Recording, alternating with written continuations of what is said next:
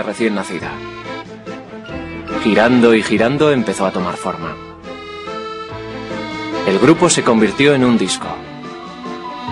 A medida que giraba, la galaxia se aplastó hasta formar una capa de estrellas proporcionalmente más delgada que cualquier corteza que pudiéramos crear. Así fue como nuestra galaxia adquirió su forma. Y así fue como ocupó su lugar entre los 10.000 millones de galaxias del mundo visible.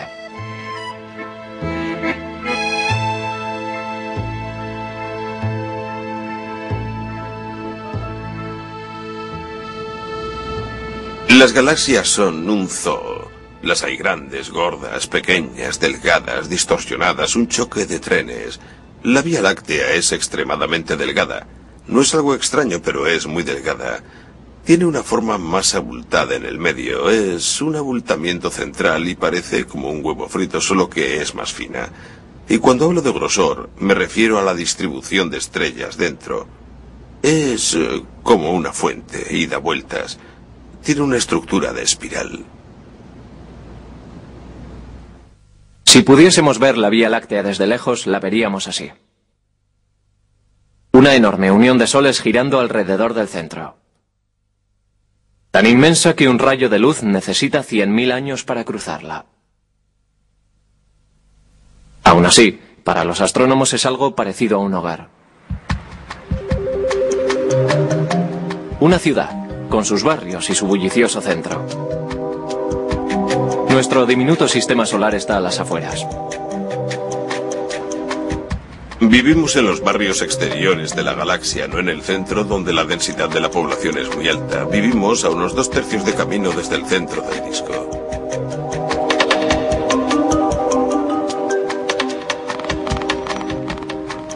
Hay regiones donde están naciendo estrellas, donde están muriendo estrellas. Es un conjunto de vecindarios bastante rico.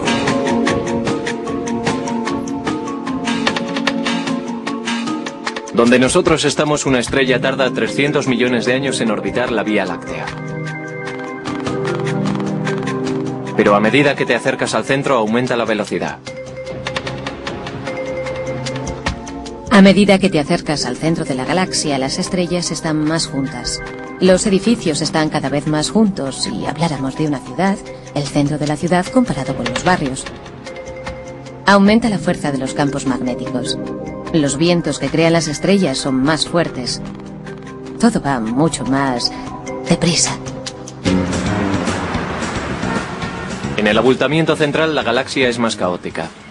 Las estrellas orbitan erráticamente, viviendo y muriendo a gran velocidad.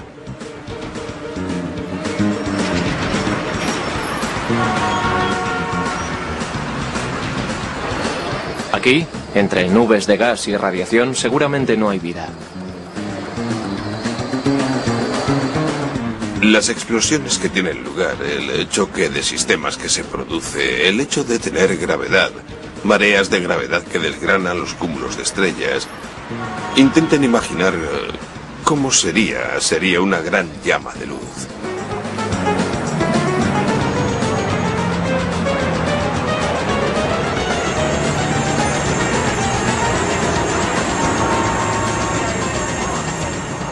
En el centro galáctico hay más cosas además de las intersecciones continuas. En el núcleo, escondido en un sudario de polvo y luz cegadora, asoma un objeto titánico. No es una estrella, sino un auténtico monstruo cósmico. Nadie sabe exactamente cómo llegó allí, o las dimensiones reales de su energía gravitatoria. Pero una cosa es segura. Algún día determinará el destino de la galaxia.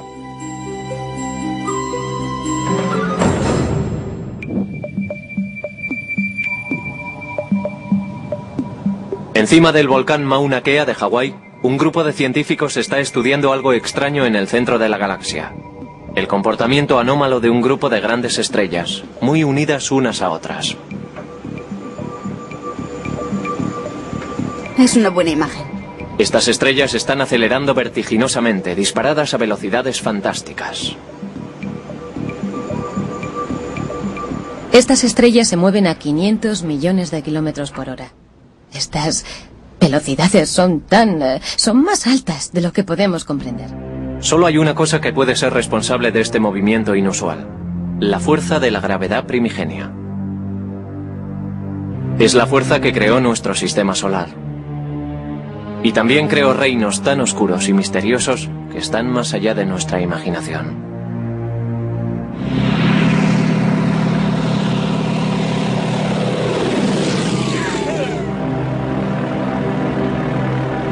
En la Tierra la gravedad es una fuerza familiar, la que mantiene nuestros pies en el suelo.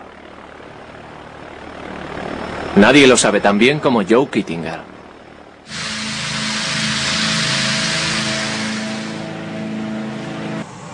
Desde 1949, este hombre de pañuelo rojo se ha forjado un lugar en el cielo, desafiando la gravedad y estableciendo un récord de velocidad tras otro. Antes de que hubiera astronautas, Kittinger formaba parte de las fuerzas aéreas y estudiaba los efectos de la altitud en el cuerpo humano. A los 32 años se le escogió para una peligrosa misión. Intentas anticipar todo lo que pueda ocurrir. Te entrenas para todas las emergencias, pero siempre hay un elemento desconocido. Si el traje presurizado falla, te mueres rápidamente. Si el sistema de estabilización no funciona, también tienes muchas posibilidades de morir.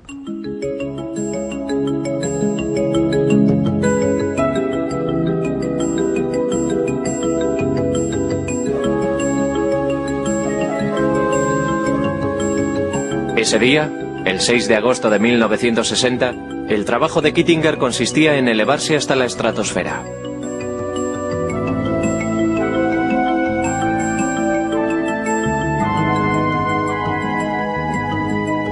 Tres horas después del despegue, este globo por fin alcanzó la marca de 30.500 metros.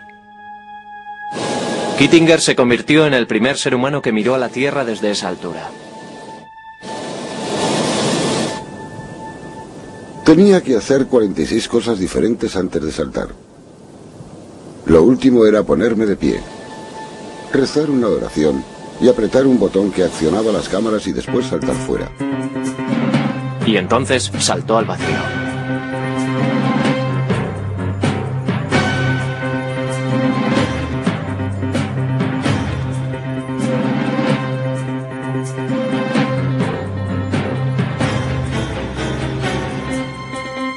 Kittinger realizó una caída libre de 32 kilómetros.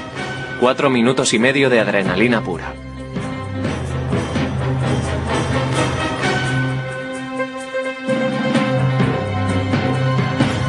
El mayor salto en paracaídas que se ha realizado.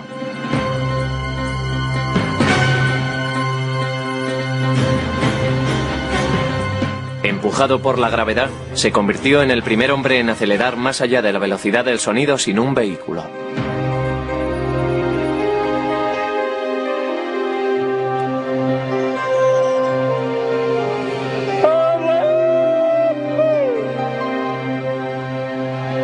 La gravedad es la atracción de dos cuerpos en el espacio. En este caso, Joe a 86 kilos y la Tierra a 6.000 millones de billones de toneladas. Según estaban las cosas, el viaje de vuelta de Joe fue suave. Pero en el espacio, la gravedad puede ser mucho mayor. Albert Einstein una vez imaginó la clase de objetos con una gravedad tan intensa que nada, ni siquiera la luz, escapaba de su atracción. Los llamó estrellas oscuras, pero enfatizó que la naturaleza nunca podría ser tan extraña como su teoría. Al final, resultó que sus peores imaginaciones eran exactas. Hay un tipo de estrella que se hace tan pesada que se colapsa hacia adentro y luego explota.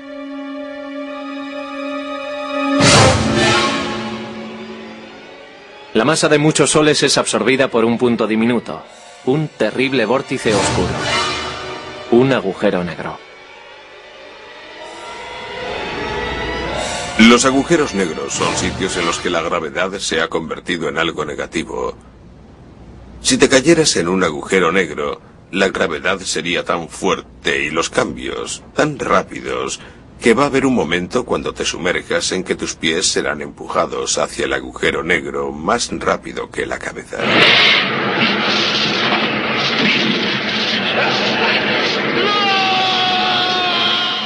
Al final te romperás en dos pedazos. Las fuerzas motrices te